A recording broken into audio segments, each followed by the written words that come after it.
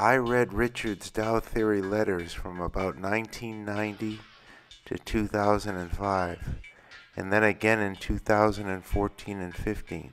Before the internet, his six page letter would come once every two weeks. Then, after he got a website, he changed it to once every three weeks because he did a daily recap online. I'd look forward to his letters because they'd have a lot of important market facts and at least a couple of investment ideas. I also liked how he'd mix current news topics and personal matters, along with the market information.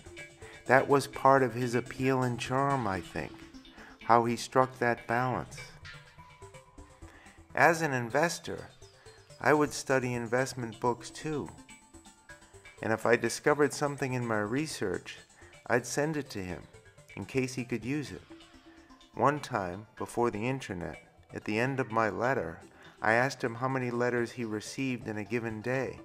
I was curious, and the question gave him a reason to respond. This is the letter he mailed me. Richard Russell, June 7, 93.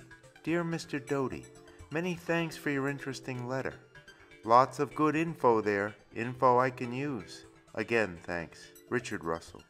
P.S. On an average day, I get about 10 letters. Before we look at a few interesting clips from his letters over the years, here's my take on his investment style.